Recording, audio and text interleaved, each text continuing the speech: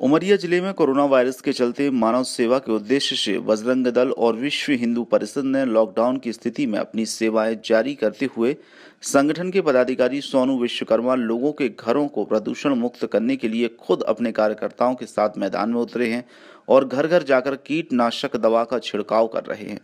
लोगों को संदेश दे रहे हैं तो वहीं प्रतिदिन भोजन के पैकेट भी तैयार कर रहे हैं और जरूरतमंदों तक वितरित कर रहे हैं।